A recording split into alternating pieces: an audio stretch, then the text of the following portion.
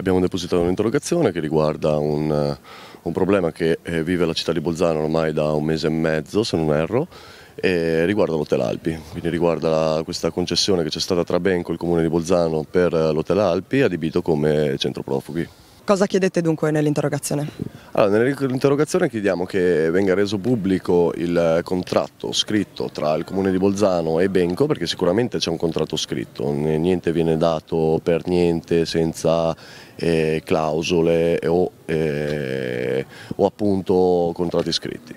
Chiediamo che venga reso pubblico quello, chiediamo che rese, venga resa pubblica la durata di tale concessione, quindi per quanto tempo il centro di Bolzano, il salotto buono insomma, della città eh, avrà questo centro profughi, con tutti i problemi che ne derivano. E chiediamo di rendere pubblici i costi di questa struttura, i costi di mantenimento, i costi di ristrutturazione di questa struttura, quindi che ci sono stati, che ci sono e che eh, ancora, ancora si verificheranno e chiediamo di ripresentare la regolarità del cambio di destinazione d'uso di questa struttura, che prima era albergo e adesso non si capisce bene a cosa diventerà. E soprattutto vorremmo sapere se eh, il fatto che Benco abbia, dato, abbia concesso questa struttura al comune di Bolzano o comunque agli enti eh, provinciali competenti, cosa può comportare in cambio di altri,